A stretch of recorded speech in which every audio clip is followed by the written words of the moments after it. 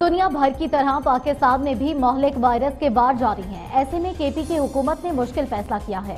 खैबर पख्तूनखा में corona virus का फैलाव रोकने के लिए सूबे के तमाम अस्पतालों में ओपीडीज बंद कर दी गई हैं।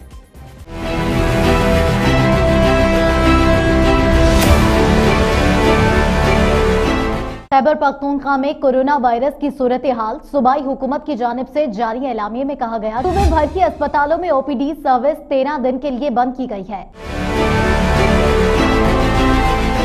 एलामिया के मुताबिक ये इकदाम कोरोना वायरस के फैलाव की रोकथाम के लिए किया गया है। एलामी में बताया गया कि सूबे भर के अस्पतालों में ओपीडीज यकम अप्रैल से 13 अप्रैल तक बंद रहेंगी। इससे कबल केपीके में सिर्फ़ लेडी रीडिंग अस्पताल की ओपीडीज मुअतल की गई थी। बात रहे कि गुजशत हफ़्ते खैबर पख्तूनखा के स्कूलों की छुट्टियों में भी तोसी कर दी गई जिसके बाद मुताद स्कूलों को करंतना सेंटर्स बना दिया गया। खैबर पख्तूनखा ऐसी कोरोना वायरस के मुसदा केसेस की तादाद दो सौ बीस ऐसी जायद हो गई है। जिनमें ऐसी दो अफराद सेहतियाब हो चुके हैं, जबकि सूबे में अब तक अमवात की तादाद छह है।